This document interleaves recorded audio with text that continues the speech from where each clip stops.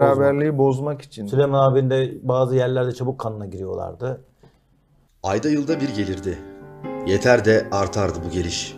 Hepimizi karşısına alır. Lafını ortaya söylerdi. Unutulmayacak sözler miydi?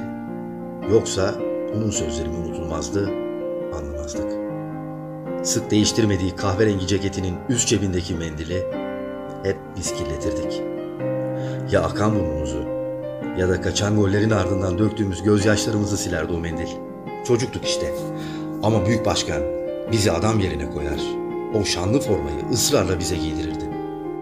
Adelelerimiz gözüksün diye kısa tuttuğumuz şortumuzu ve malzemeci Ahmet abimizden ne edeceksin deyip verdiği tozlukları giyip çivili kramponlarımızı da yandan bağladığımızda hakikaten koca adamlar gibi dururduk. Aslında bizi adam yapan o formaydı. Şeyin işe yaptınız dediğinde biz neyi kastettiğini bilirdik. Lafını kısa keser, söylediğini de unutmazdı. Belki de hiçbir şeyi unutmadığı için unutulmaz olacak Sayın Seba. Ekranı da pek sevmezdi. Ne önünü ne de arkasını.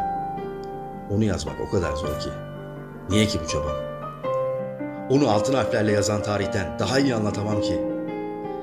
Ben Metin Ali'nin Feyyaz'ı, Rıza'nın Öndürek takipçisi, Şifon'un pas duvarı, Les Ferdinand'ın çapraz koşucusu, Samet abinin kibarı ben. Seni o aramıza giren herkesten çok seviyorum. Ve biliyorum ki sen de bu başına buyruk inatçı evladını seviyorsun.